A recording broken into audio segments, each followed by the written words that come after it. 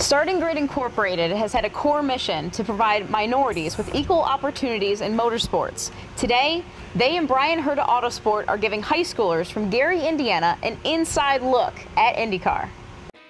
Starting Grid has elevated the exposure of motorsports within urban communities and has long been the leader of connecting minorities with the racing world. Lew Wallace Academy and the Westside Leadership Academy began their day in Indianapolis by doing what everybody needs to do visit the mecca of motorsports, the Indianapolis Motor Speedway. Students got a personal tour of the IMS Hall of Fame Museum. That's 30,000 square feet of IndyCar racing history to take in. After leaving IMS, they visited the race shop of the 2011 Indy 500 champion, Bryan Herta Autosport.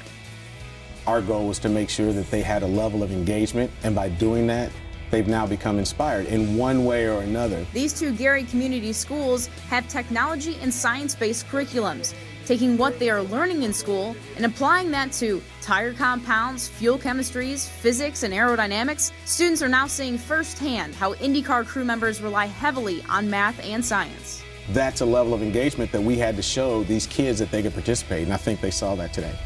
Starting Grid was also participating in conjunction with Social Media Week, which gave students from Gary a very unique experience. So check it out.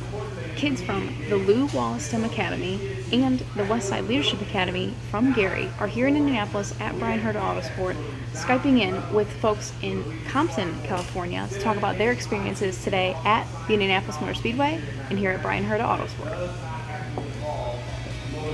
This is actually probably my fifth time doing something of this nature. Uh, you know, the fortunate thing is we have the resources to do this. Those resources include IndyCar owner and former driver Bryan Herta. He's a gift. I mean, for him and his organization who have won the Indy 500 to embrace us for what we're aspiring to do, not only on track uh, with bringing more minority participation, but also opening up the race shop and providing this type of hospitality. I couldn't ask for a better uh, partner as far as a racing team's concerned. Bryan Herta Autosport partnered with Starting Grid as a race team has had success, most recently with Zimbabwe native Axcil Jefferies.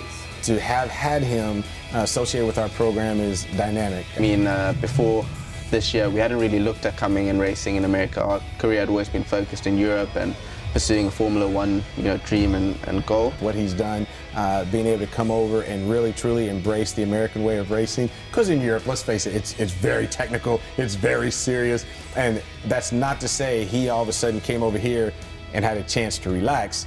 He brought that same mentality over here, but yet he was also able to see a funner, lighter side, and I think that actually enhanced his racing capabilities. I'm, I'm happy to say it's been a successful opportunity that they've given me and uh, we had our first race a, month ago in mid-Ohio and uh, that went very well. Drivers like Axcil maintain a strict conditioning workout and diet in order to stay in shape. Uh, training, I would say we spend at least you know, about two hours a day minimum training. Um, you know, go, we'll spend an hour cardio and then another hour of weights. We do a lot of work on our neck because sometimes we can experience up to five Gs. So our neck really has to be, you know, prepared. Axcil is a prime example of starting grid success. Now he wants to give back. Everything's changed since then. You know, I'm talking. I know it's not long ago, but six, seven years, so much has happened, and people's perspective and things. You know, when I was racing in South Africa at the time, I was the only person of color racing, but now it's 50-50. Definitely, if you want to achieve something, you, you can you can work at it and you can get there, and that's that's hopefully what we're trying to trying to show the kids in Gary today.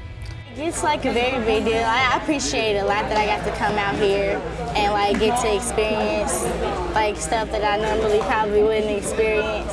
I didn't realize how much technology went into racing. I'm just trying to do my part in the sense of I have a level of uh, engagement with them in the motorsports realm. If I can bring them along, then all the better. And bring them along he did. The Gary Community Schools were given the distinct honor to have their logo be put on the car for the Grand Prix of Houston.